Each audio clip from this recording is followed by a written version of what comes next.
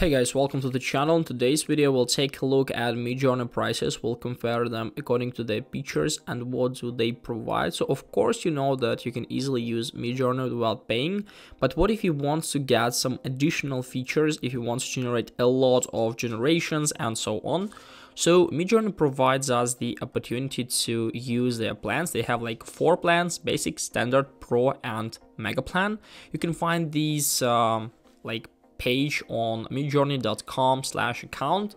And of course if you're going to pay monthly we'll pay a little bit more like $10 instead of 8 so we can save up to 20% if you are going to pay annually so yeah, um, I found uh, these um, spreadsheets to find more in-depth information to compare it uh, according to different features and I think it will be easier. And as you can see, of course, if you are going to pay uh, like annually, we can find that we can save up to 20% and if you want to use it for a long time, if necessary as for your company, as for your business, for example, you can of course buy uh, early subscription. But as for me, it's better to use monthly because I can cancel it it anytime I want. So it's better to pay like $30 per month uh, instead of 288 like once because I don't know if I will use it in the future. And what's the difference? So there is a huge difference between basic plan and standard and not that big between standard pro and mega as for me. So I definitely recommend you to try to use it uh, for free. And after that you can easily decide if necessary uh, to buy a plan. But the most suitable as for me is a standard because we have five times more GPU time like 3.3 3 on basic and 15 on standard, then 30 on pro and 60 on mega. Uh, also, we have the unlimited relax GPU time, which is really cool. Purchase extra GPU time is the same for every plan. Voxola in your direct messages is the same.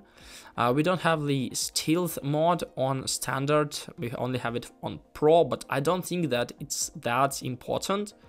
Also, they have like maximum concurrent jobs, the same uh, for Pro and uh, Basic, uh, Standard and Basic, and it's a little bit higher uh, for Pro and Mega because they have like 12 fast jobs.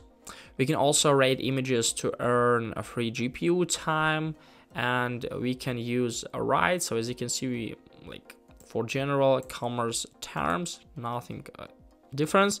So as for me, uh, definitely a standard plan is the most suitable and I prefer to uh, use it uh, like monthly billings.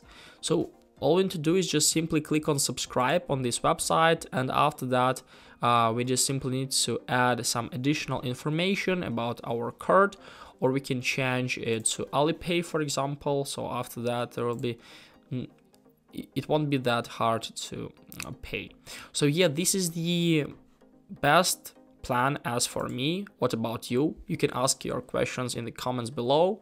So hope this video helped you out. Leave a like, subscribe and goodbye guys.